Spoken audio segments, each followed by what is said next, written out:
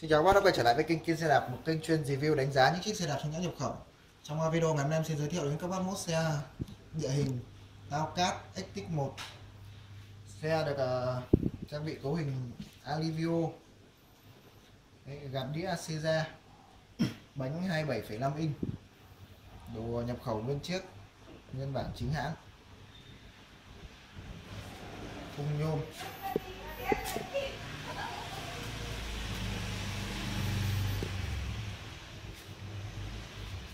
Sơn xe phối màu rất là đẹp.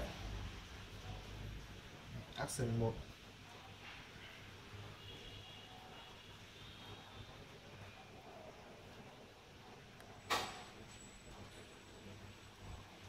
đùi trục rỗng. Đề alivio gạt đĩa xì ra.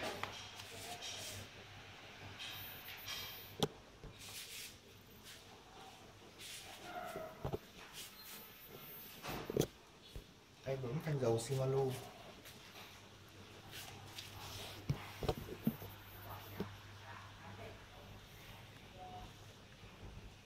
Vành 27,5 inch.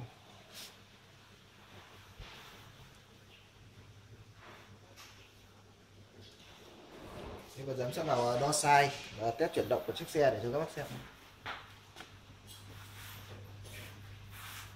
Nhiều bác hỏi em về cái giá bán của chiếc xe là bao nhiêu, thì các bác em đã đề ngay ở cái chỗ tiêu đề là các bác ấn mũi tên trỏ xuống vào, là cái giá em đã đề đây luôn này. Còn nếu mà em không đề giá thì tức là xe đã bán.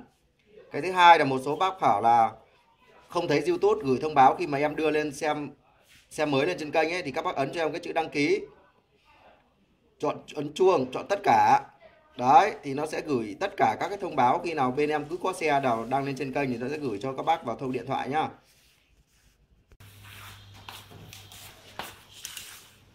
Size của chiếc xe từ tâm trục đạp đến khóa cọc yên là 36 cm từ khóa cọc yên đến tâm cổ phốt là 54 cm chiếc xe có cái size khá là nhỏ. Các bác từ khoảng mét 55 đến 3 mét 65 là phù hợp.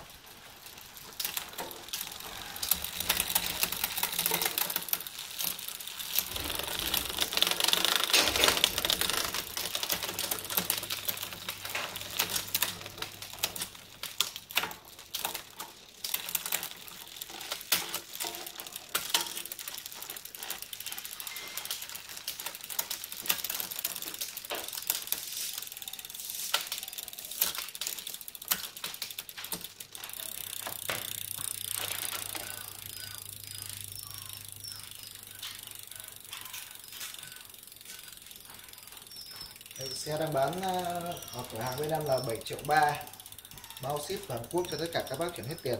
Các bác ờ, quan tâm đến chiếc xe thì liên hệ số Zalo trên màn hình 0975 709 943 ngoài ra thì các bác ấn đăng ký kênh ở góc phải màn hình và ấn nút chuông để nhận được những cái thông báo những cái thông báo mới về những chiếc xe khác mà em lên kênh. Cảm ơn các bác đã xem hết video. Hẹn gặp lại các bác ở những video lần sau.